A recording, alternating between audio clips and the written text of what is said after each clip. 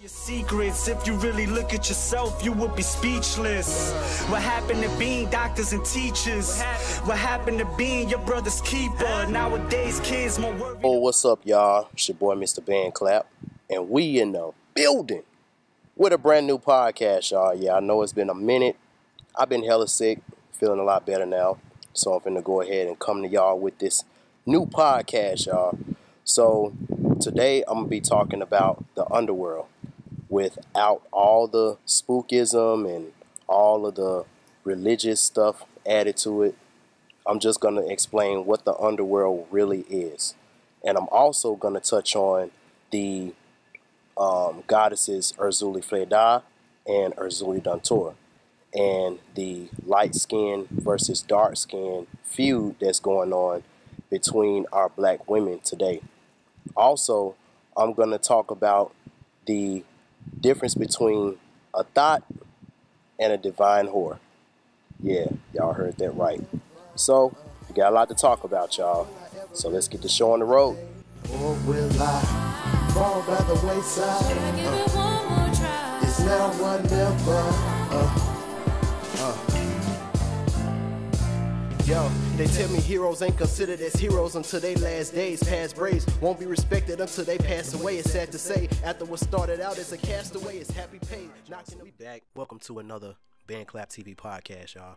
I've been wanting to do this podcast for a minute, but for the past two or three days, I haven't really had a voice like that. I mean, I'm still a little bit hoarse right now, but I'm gonna just get through it because I really want to get this information out. And like I said in the intro, we got a lot to talk about. So I'm gonna try not to make this podcast too long, but I can't make no promises because you know, you know how us Geminis are when we really start talking about stuff. So getting right to it. As many of you may know, these past few months I've really been doing a lot of traveling, doing show pro gigs and stagehand work. And a lot of times when you're doing that type of work and you got your mind on your money and your money on your mind, as the good brother Snoop Dogg said, you tend to not only run your body to its limits, but most of the times you really don't feel the effects of the wear and tear and the lack of nutrition or the lack of hydration or whatever. You usually don't feel that type of effects until after you've done the gig and you went home and woke up feeling horrible. so that's what I kind of been going through. But since I've been in this situation, it kind of forces you to give your body that much needed time to rest and recharge and rejuvenate. So while I've been in my quote unquote hermit mode, resting and trying to get over this cold that I got, I've been doing a lot of meditating. And as I've been meditating, I've been getting a lot of spiritual messages. And every time I get a spiritual message, I do a podcast about it. That's the reason why it takes me so long to do podcasts because unless I really, really have something on my heart to talk about, I don't like gossiping or rambling. Those are the two things that I don't like watching and I don't like exuding that type of stuff. And as you know, the things that I like to do most is to take subjects that people deem evil or something that's quote unquote negative because it was something that was revered by us, but due to the society that we live in that most people have conformed to, that stuff is now deemed. And I come around as the Alegba slash messenger that I am to shed some light on that stuff and put it to you in a more digestible level to where you can get the lesson from it instead of running away from it totally. So, when you talk about the underworld, I mean, just that word alone have some people just, uh, you know what? I'm finna turn this video off. I don't care what this dude got to say. If he talking about that, I'm out. I mean, that's just how some people are programmed and hardwired to do.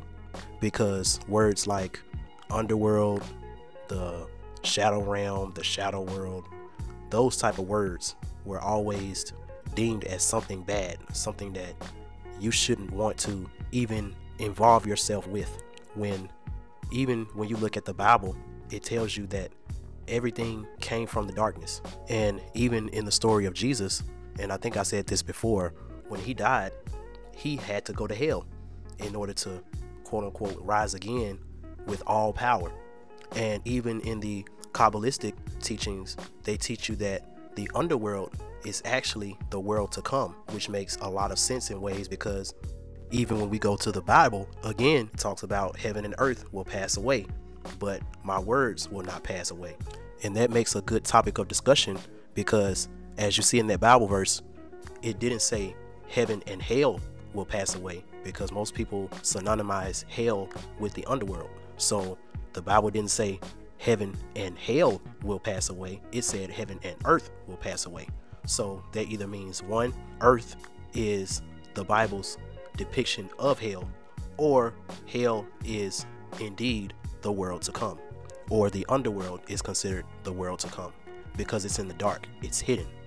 That's why you have these secret societies that deal with this hidden slash occult slash underworld knowledge because all the underworld is is an embodiment of the primal essence to put it in layman's terms the things that you just want to do automatically no matter how crazy it may be society wise or how outlandish it may be but it makes you happy now to somebody else it may seem like this person is crazy or this person is psychotic but in your mind you feel happy because you're doing the things that you primarily want to do.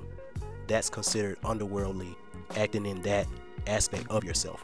And even when you're talking about things that are positive and negative, and Brother Panic talked about this and beautifully taught and explained this when he said that, in all honesty, being on this earth, you need both polarities. And just because something is positive, don't always mean it's good. Just because something is negative that don't always mean that it's bad. And that's one of the things that we really need to stop doing as people in general is to synonymize bad with negative and good with positive. For example, like I said before, you had unprotected sex with a girl and you're not ready to be a father. Would you rather for that DNA test or that pregnancy test to be positive or would you rather it be negative? You know, you're a girl, you've been out screwing a whole bunch of dudes or whatever, and you just decide to go to the doctor and get a HIV test or STD test, would you rather that test say negative or would you rather it say positive? So those examples alone just shows you that positive and negative are a type of polarity. And just because it's positive don't mean that it's good all the time. And going into the underworld, dealing with the spirits called the Gede, they deal with death as well as fertility. And when you start talking about spirits like the Gede, now you're getting into the voodoo aspect of the African spirituality. Ooh, that dark voodoo. Ooh. Oh, I done made a lot of other people leave. Y'all don't like talking about that voodoo, I swear. the reason why I feel like is because as a people, mentally as well as spiritually, we've been so far detached from our primal, ancestral, universal energy and power that seeing a glimpse of that again is scary. And that's another reason why thinking about the underworld is just so it just sounds so evil because in the underworld there are no rules. When it comes to morality, there are no rules. So when you hear people talking about do what thy wilt and stuff like that, that's that's underworld talk. That's occult language because when you deal with the underworld, you deal with no filter, no boundaries, no rules, no limitations. You can just totally be yourself. Whatever whatever that is, you can just be yourself. And for most people, that's considered as chaos. That's considered as chaotic.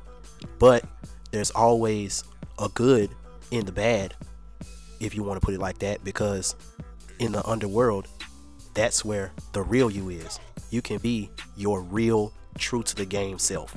You don't have to worry about someone judging you. You don't have to worry about having to put on a front because you don't want to show yourself. You don't have to worry about hiding things. You don't have to worry about keeping secrets. You don't have to worry about putting on airs. I mean, it's just so many when you talk about no rules and no limitations. To some people, that's considered heaven. as crazy as that may sound, but to some people, that's considered paradise. just being in a situation where you can just totally let your hair down and not have to worry about someone telling you that's wrong or someone telling you what you should and shouldn't do and stuff like that. Now, on the flip side of that as well, that dark energy also represents the divine feminine. And I broke that down in a earlier podcast when I was talking about the woman's imprint and how a woman is hardwired to follow her primal instinct. And I'm going to touch on that a little bit more in this podcast. But that darkness, aka that triple six, triple goddess energy, not only does it represent universal love, it also represents unconditional love. Because I mean, let's face it, if you can truly love somebody that's at the bottom when they don't got nothing, then loving them once they do come up and they do get those riches and they do go into the light, that's gonna be a piece of cake. And even though I'm going a little bit ahead, I gotta make this point. When you talk about women who deal with that underworld type of nature, or aka the primal nature of a woman, that's where you get the quote unquote down ass chick from, or the quote unquote ride or die chick. That chick where you can be at the bottom of your luck, no money, barely making it, stuff like that, and that chick will be down for you. Like in some cases, if you gotta go and move that work, but it's a huge risk because you already got two strikes, and if you get one more, you doing life. That down ass chick, she'll be like Cookie on Empire. Take that charge for you, or move it for you, or whatever. Hide it in a bra. You know how it goes. so, getting back to that underworld energy, even when you look at a baby and you analyze the way that child acts from zero years old to seven years old because people say that that's the most impressionable time of a child when they're from zero years old to seven years old. But nobody really talks about why that is. It's just that's just what everybody says and they just gauge by the kids' behavior. But I'm gonna break that down a little bit more. So you hear these gospel songs talk about the world is not my home and I got spiritual parents and then I got earthly parents and all of that stuff. But I don't think a lot of these singers and a lot of these people really know what they're talking about when they say this stuff. Like their soul knows what they're talking about, but they really don't know what they're talking about. So to break that down, before you came to this plane called Earth, you knew what you wanted to be on this earth. You knew why you wanted to come here on this earth and you also knew how long you wanted to stay here on earth before you make your departure back into this primal essence that we've all stemmed from.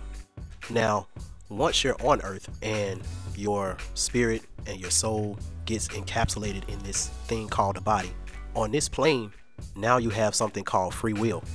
And with this free will, depending on your soul, is what's going to truly define what you tend to do with your quote unquote free will. So that means that if you're a more younger soul, deep down you feel like, look, I'm just finna be YOLO.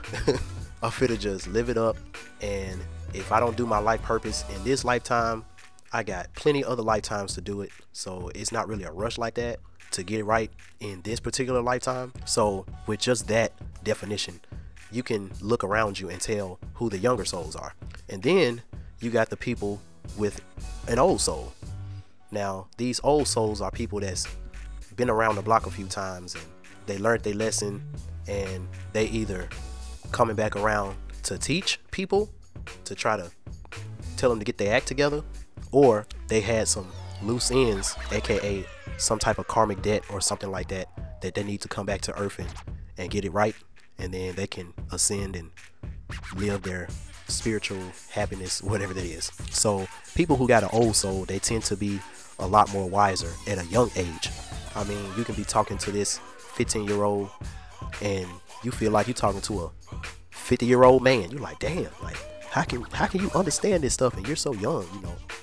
That's considered an old soul. And then you have these souls that come in and they're kind of in the middle. Like they're not too young, they're not too old, and they're truly the magicians. They can either be total geniuses or they can be totally reckless because they got so much of light and dark inside of them that the key for them to ascend will be to balance it out. So, back to the example when I was talking about the baby, you wonder why that baby for those first seven years is so bad. Like, you got the terrible twos and the terrible threes and all of this stuff. And you have to look at it in this position. These children, you included, came from a realm where anything goes, literally. See, when people think about death and they think about Baron Samedi, aka Baron Samedi, and they think about that energy, people are scared of that energy because people are scared of death and not even just in a physical sense because on a different way of looking at it death is actually a form of freedom. When you lay death to your old ways of thinking and you kill your old habits and you disintegrate your old ways of doing things and you just decide to just be free. That new you that blossoms out of that and that energy deals with fertility and creativity. That's where mama brigitte comes in which she is the wife of baron samedi in the underworld. So when you're raising that child from zero to seven years old aka you're assimilating them to the rules and the boundaries and teaching them the new limits that they now have in this world that we live in. Remember that these children, even you, came from a world where they had heavenly parents that literally let them be their true selves. Within this world, it means that they pretty much just let them do whatever they want to do with no consequences. And I feel like that if we all looked at children as that when it comes to raising them and teaching them quote unquote what's right from wrong in this plane, it would be more teaching and more raising and less abusing the child because there's nothing wrong with discipline but I mean it's a limit. You can't just be straight up abusing the child because now now you're talking about trauma. That's something that that child is never going to forget and when you're trying to heal something spiritual with something physical, it's never going to work. It's going to get to the point where you're going to have to whoop that child harder and harder and more and more and more to get them to quote unquote act right. And then it's going to get to a point where that little slap on the butt with a belt ain't going to do nothing to them because they're going to be used to that type of pain. They're going to be used to that type of trauma. Then you have to amp it up. You know, some parents just slap their child in the face or hit them with a shoe or something. I mean, I've heard horror stories. I'm, I'm glad my mom ain't never hit me with no shoe. but I mean, in this world that we live in, that's what we have to deal with. So when we talk about the different aspects of love within the Gede um, Haitian voodoo paradigm, you have these entities called the Erzulis. Now, as far as the religious aspect of it, um, I'm still learning about them. So the stuff that I'm talking about when I'm talking about the Erzulis are stuff that when I meditated, I got different revelations and I was able to tap into the source energy, not the religious aspect of it, but the source of it. And now I'm regurgitating that back to you all in the way that you all will understand it. Because a lot of people think that the light skinned black girl and the dark skinned black girl, all of that stuff came from Willie Lynch. Now, in modern terms, it did, but the spirituality behind it has always been here, even when you talk about Haitian voodoo with the Erzulis, because you have Erzuli Freda, which is considered as a beautiful light skinned girl, and then you have Erzuli Dantor, which is considered the dark skinned sister of Erzuli Freda. And when I meditated and I really tapped into those energies, it really, really shed a lot of light on this dark skin and light skin situation that we have with our black women. This is why I stress that getting into these meditations and going deep within is very, very necessary and it's very needed because it helps you understand a lot of shit. I mean, so all my babalaos and all of my, um, I don't know, voodoo priests or whatever. If I'm getting the religious aspect of these goddesses wrong, forgive me. But I'm just showing you the energy behind them because the energy signature that they left on earth is still I'm not going to say it's plaguing but it's still very prevalent in the black community especially with our black women and I feel like with this maybe we'll be able to come together and not be so hostile against each other if we just sit back and take these gods and goddesses as source energy and take the spookism from it, take the religion from it, and just deal directly with the energy. So when you talk about Erzulie Freda and Erzulie Dantor, you're talking about the light skinned black woman versus the dark skinned black woman. So let's start with the dark skinned black woman. So to describe Erzulie Dantor's energy, imagine you got this beautiful girl. I mean, beautiful hair, beautiful dark brown skin, very good hearted girl. But this chick, along with her sister, were kind of raised in the ghetto. You know, had a single mom household, mama doing all she can to keep food in the refrigerator and keep the lights on in the house. But I mean, it's a struggle. But in that struggle, this dark skinned girl, she really looks up to her mom. She looks up to her mom because her mom is a strong black woman. Her mom is like a superwoman. I mean, the fact that she can take like five or six dollars and make a little something in the kitchen and feed her and her sister and make sure that they don't go to bed hungry. Now, mind you, even though the dark skinned girl and the light skinned girl got the same mom, they got different dads. The dark skinned girl's dad, he's barely in the picture because he was a street hustler, drug dealer, had to get it by any means necessary. He was always strapped up, but with that life, it always came with negativity. I mean, her dad kept getting locked up all the time, so he was hardly around. But when he was around, he provided the little money that he could from the drugs that he sold and the stuff that he hustled, and it helped out. So, dark skinned girl, she had love for her dad as far as she respected what he did too to bring money in the house. But there was still a void there because since he was always locked up half the time that she was a child, she never really bonded with her dad the way she bonded with her mom. So it was it was a lot it was a little unbalanced there. Now, the light-skinned girl on the other hand, even though she stayed in the same house as her sister most of the time, her dad was one of those little more well-to-do, uppity type mulatto guys. You know, them type of dudes that once they get into that crowd of well-to-do white people, they tend to quote unquote forget where they came from. But nonetheless, he loved his daughter. I mean, he really, really loved his daughter. So the days where her dad wasn't on his business trips and stuff like that, he would stop by and visit her, pick her up. She would stay with him on the weekends and the holidays and so several days out of the week. She'll just be with her dad. And she was a daddy's girl. I mean, anything that that light skinned girl wanted, daddy just gave to her. So she built more of a bond with her dad than the dark skinned girl was able to build with her dad. So, dark skinned girl, she really, really had to struggle to get hers.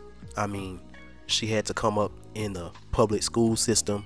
I mean, she got ridiculed a lot because of her dark skin. A lot of times where she'll sit at home crying, you know, why me? Why me? And then her mom will wipe her tears and tell her how much she's a strong black woman and that you're independent and you're beautiful.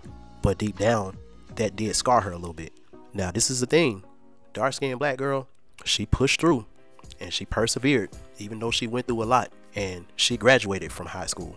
Now, she had a choice whether to go to college or not, but she didn't really see herself as a doctor or a lawyer or somebody that wears business suits and sits at a desk for eight hours typing on a computer. I mean, she didn't really feel like that that was the type of life for her.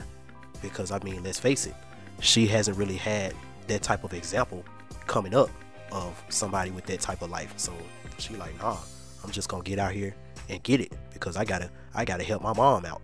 So she went out, got a regular job. But see, with that regular job, she wasn't really making the type of money that she really needed to make.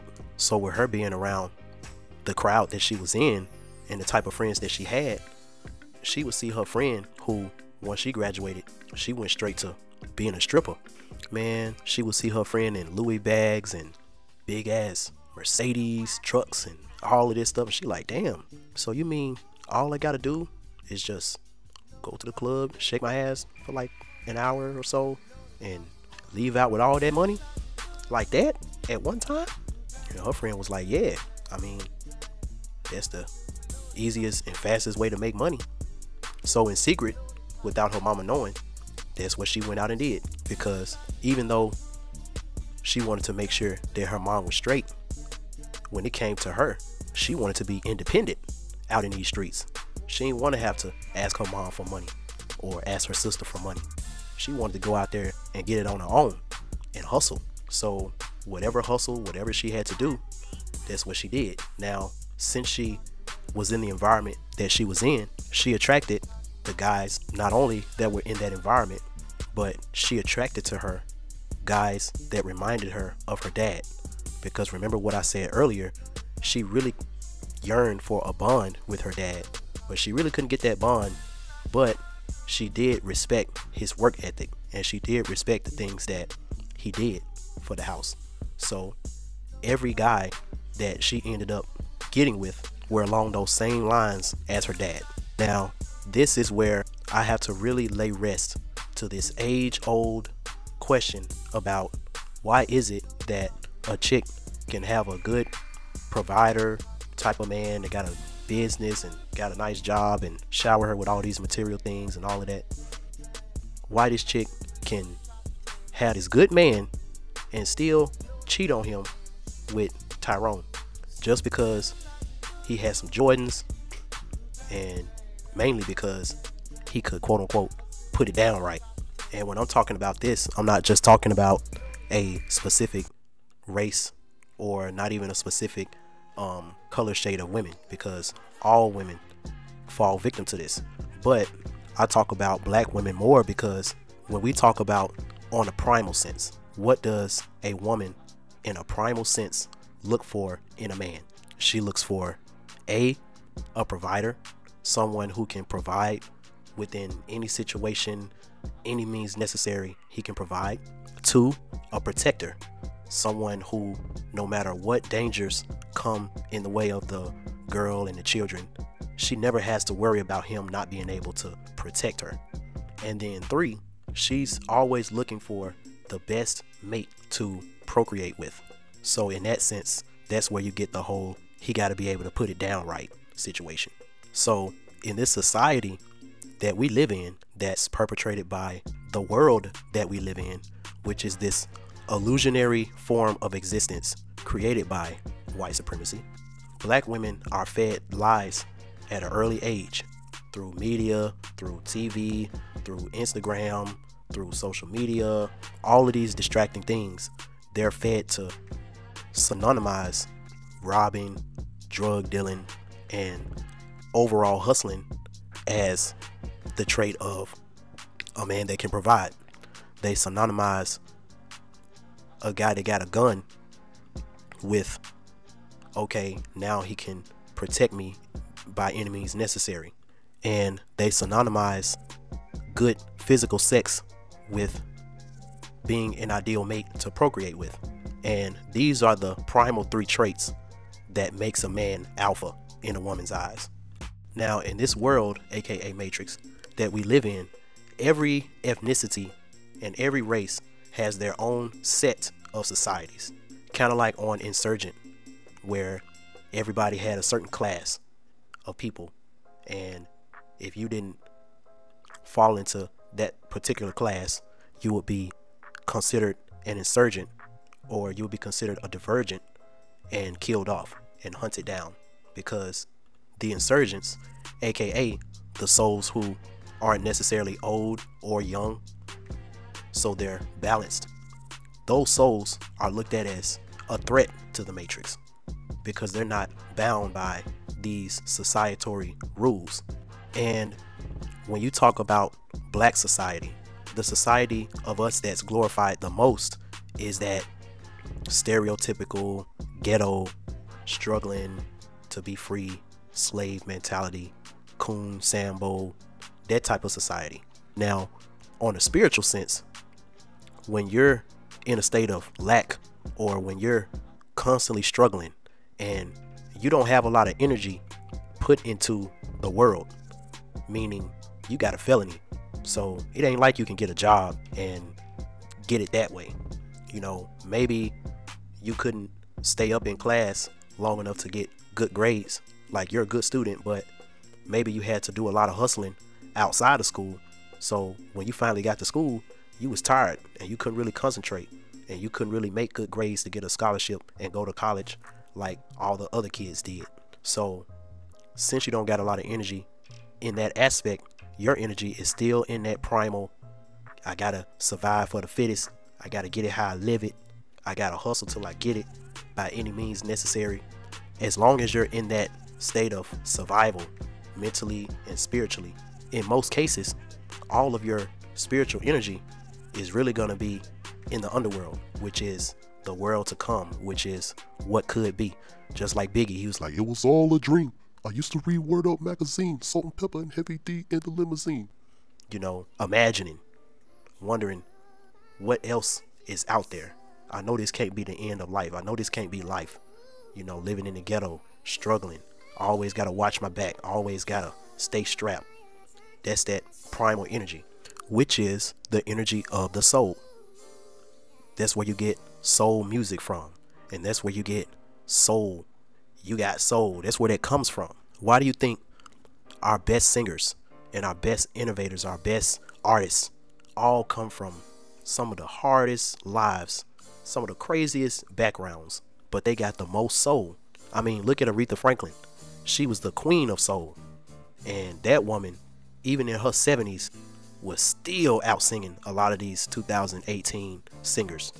And I mean, I'm still finding out the horrible stuff that happened to Aretha Franklin when she was a child and all of that.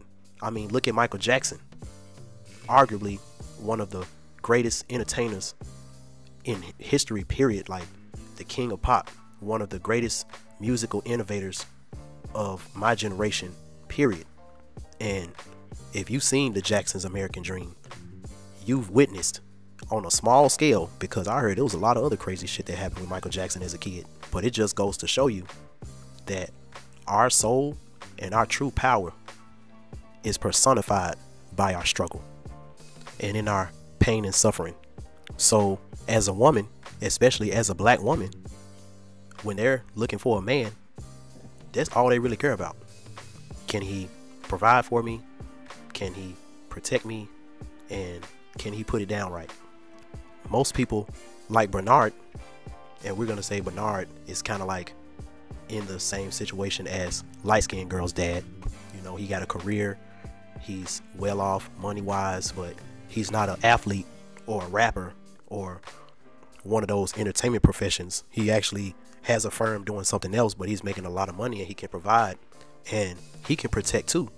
But his protection is stuff like trust funds and investments and things that deal with keeping your money flowing so that you would never end up falling under business wise. And where a lot of these Bernards fail at is being able to put it down. Because when you really think about it, it's not really his fault. Because one thing about having free will and having a choice, it's another thing that comes with that, and that's sacrifice.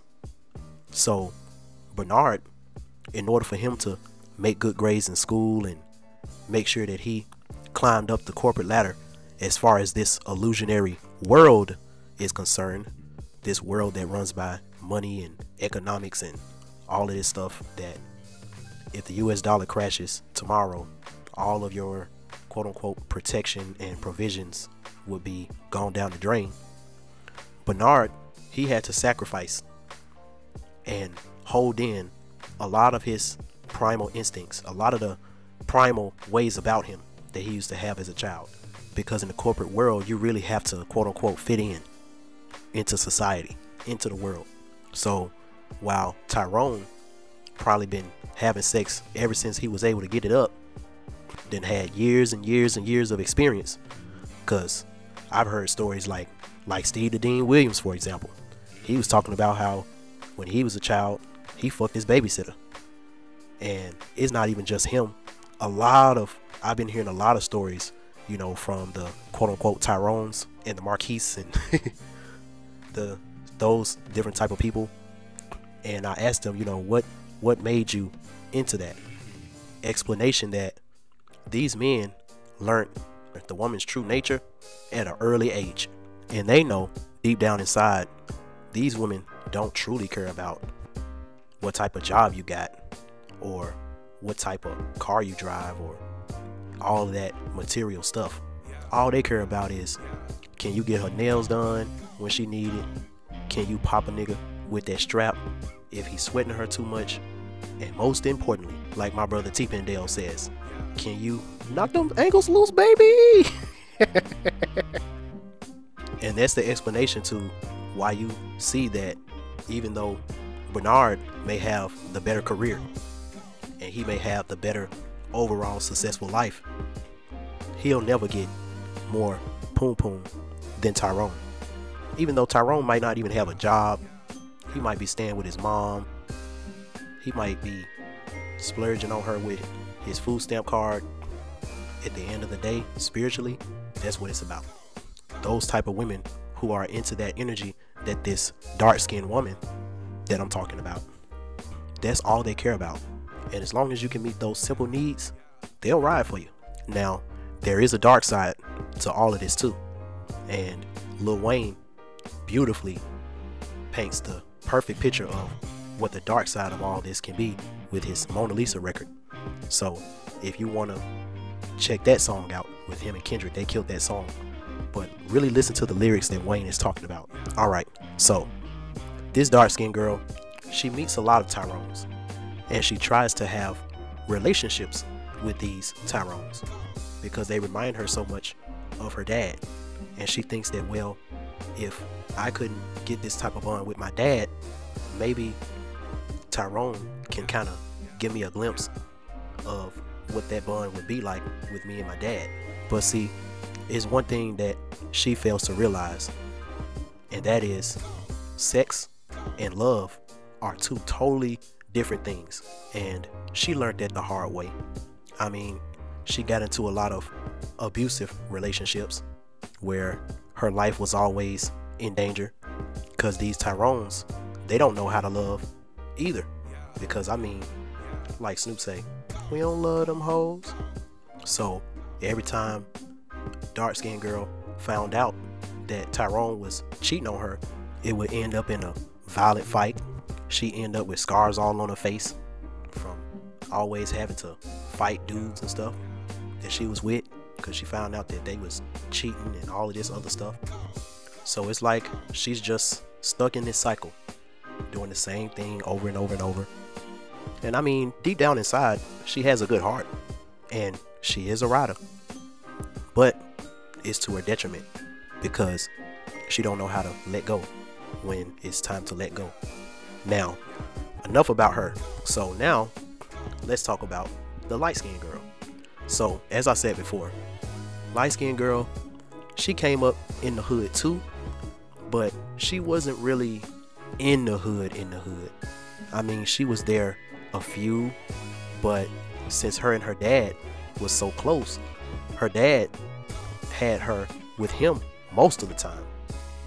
So those few times when her and her sister would be together and she would hang around in the hood with her sister's friends, she would see that her sister always kind of had this nasty attitude every time she came home and told her all of the extravagant shopping trips and extravagant adventures and all of these wonderful things that she was able to do with her dad, all this fun she was able to have, her and her dad.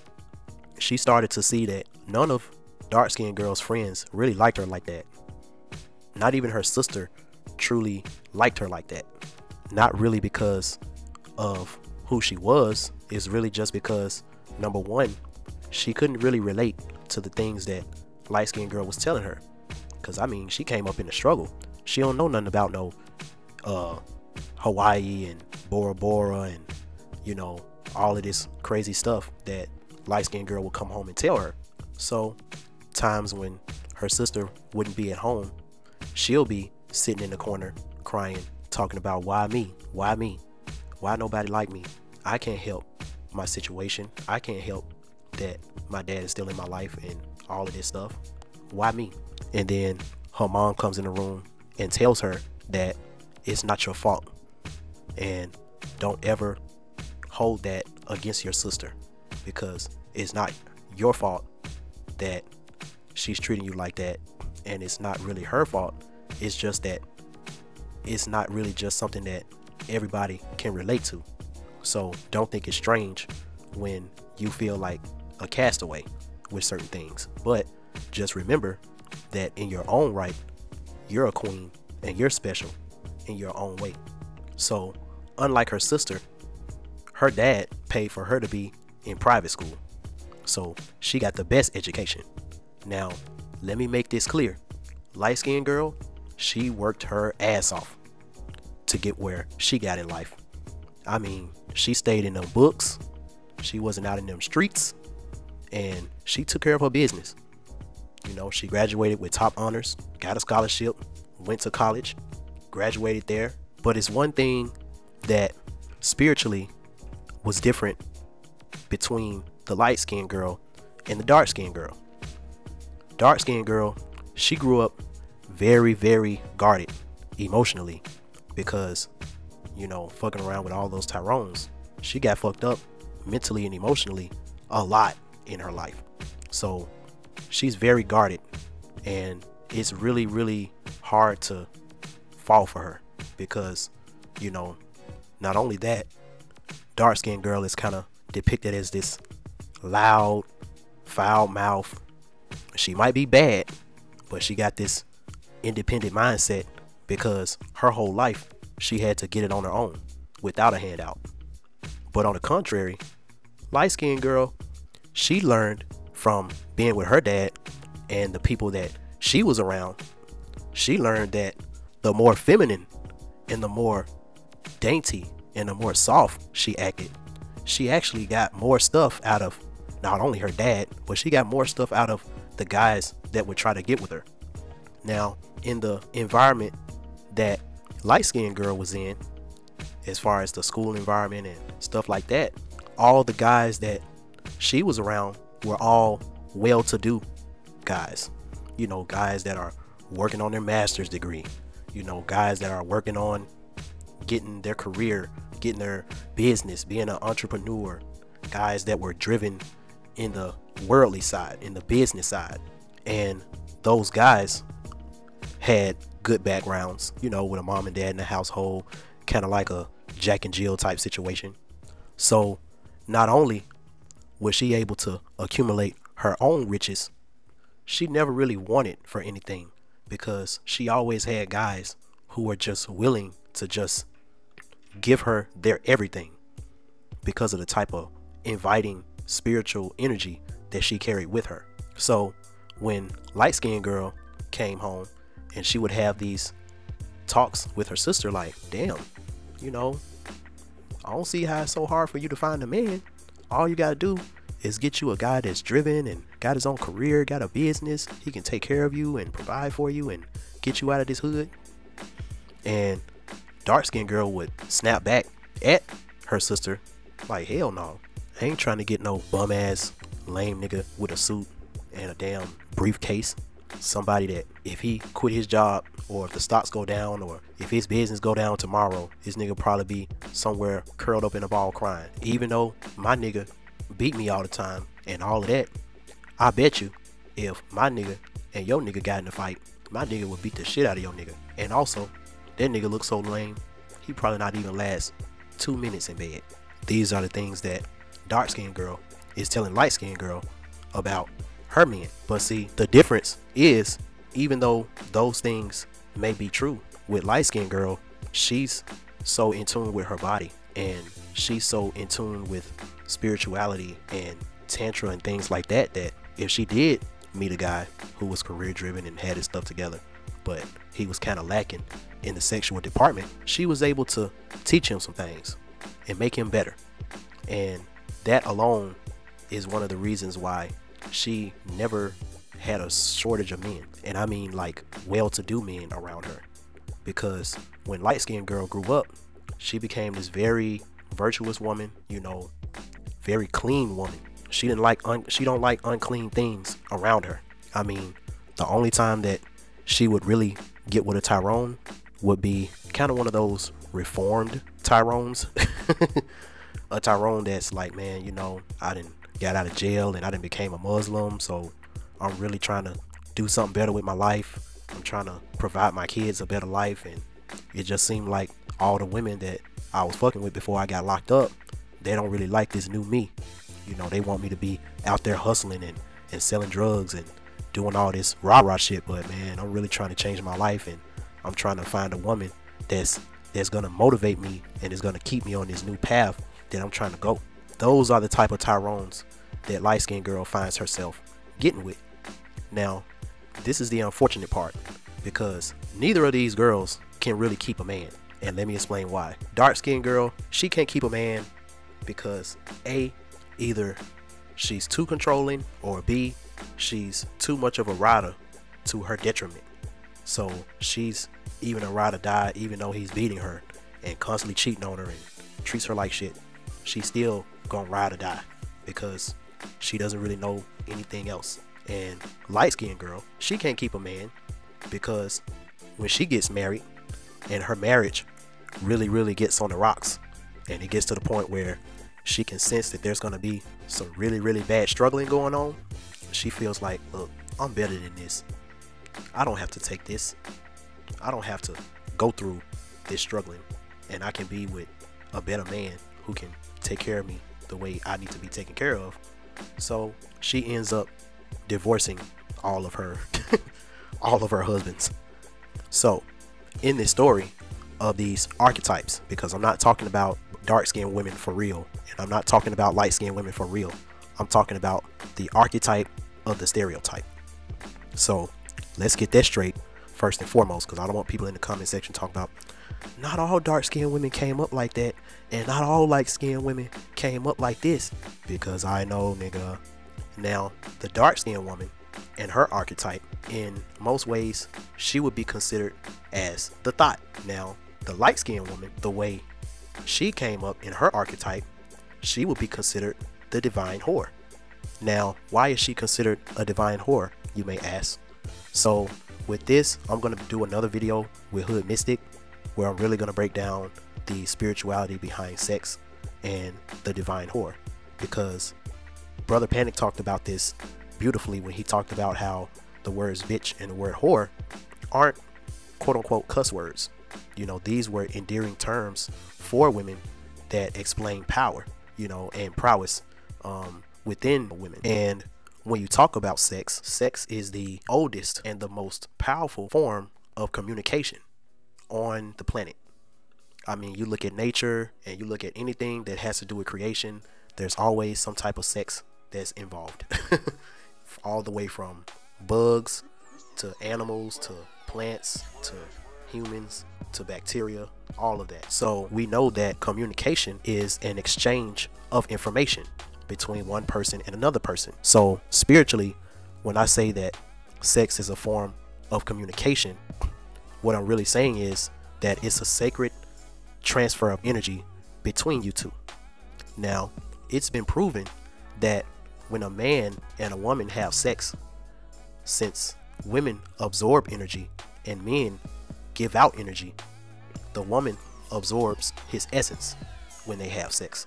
This is whether he has a condom on or off because we're not talking about the physical aspect of sex where you put a condom on to prevent you having a baby. We're, we're, we're getting a little bit more deeper than that. So, spiritually, when you have sex, not only are you bonding or quote unquote soul tie, but you're communicating. You're giving your information and your essence to her, and a little bit of her essence will be with you. So imagine you have a chick like the dark skinned girl who's had all of these energy transfers, essence transfers with 50, 60 different Tyrones. And now she has all of this energy from all of these low life individuals swimming all up inside of her. You talking about a damn walking toxic waste dump with a fat ass. I mean, for real. Spiritually, that's why they say the craziest women have the best poom poom, but they crazy as cat shit. And if you marry them, woo, I'ma say a little prayer for you. But as a spiritual being and as a man that cares about his spirit, he would really watch the type of women that he decided to have an energy exchange with. Because, I mean, honestly, what type of energy do you really think that you would get from a woman who's had sex with a bunch of Tyrones? And these Tyrones are just a bunch of stereotypical trap niggas. And then you wonder why, after you had sex with that thot, bad shit just follows you for some reason. You're like, damn, like my car just got stolen. You know, my house just got broken into. Like, damn, like, man, I had some good sex, but damn, like all this bad stuff happened to me all of a sudden. That's because you've inherited that negative, that lower level energy.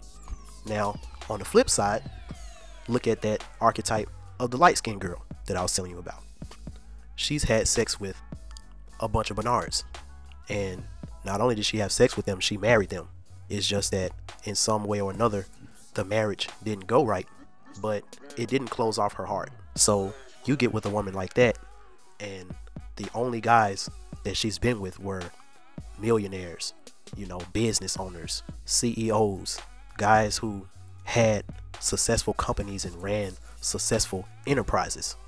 You don't think that if you pick that girl's brain and ask her different things, you don't think that if you really get in good with her, she won't share that information with you so you can be great as well. Not only that, you transferring energy with her energetically, you're gonna inherit a lot of that energy of those millionaires and of those businessmen and stuff like that that she's dealt with in the past. So you have a strange business idea out of nowhere. You're like, baby, I just got this idea that I just want to start this restaurant, you know, this food truck or something. Then all of a sudden, you see an ad in the paper, uh, free food truck, pick, come pick it up or something. It just things just just work out for you. You're like, damn, like, okay, this what's up. It's because you've inherited all of that positive energy that was wrapped around her. Now, neither of these women, like I say, can keep a man, but I'm talking about two polarities. The positive polarity, which is the light skinned girl, aka Erzulie Freda, and I'm talking about the negative aspect, or the negative polarity, which is Erzulie Dantor, or aka the stereotypical dark skinned girl. Now, dealing with their energies, you can learn a lot from Erzulie Freda, and you can learn a lot from Erzulie Dantor. Neither one of them are good or bad. It's just all about your perception. Somebody who grew up in an environment of struggling and pain and suffering, and you just need an entity that can protect you out there in them streets, then you would call on Erzulie Dantor because she is a mother like figure who will protect you. Or if you just need some success and if you just need for your business to get off the ground and or you just need some of that real real Venus love like that real genuine unconditional love then you would work more with Erzulie Freda because she deals with the good things in life she deals with the material things you know she deals with that fantasy of what if I had it all? And dealing with her, you can have it all when you're talking about that type of um, stuff. So I just wanted to really, really break that down. And I know that this is a super, super long podcast. This is probably the longest podcast that I've ever done in the history of me doing podcasts, but I'm going to break these down probably into smaller videos.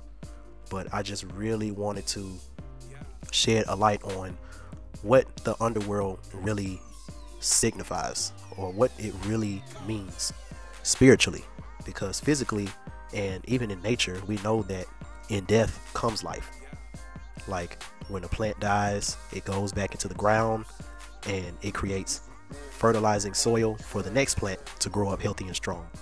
And you even have things like flies and dung beetles and vultures and buzzards who spend their life eating and breaking down things that are dead so that nature can use it and it'll create life to another plant or another bird or another animal or whatever.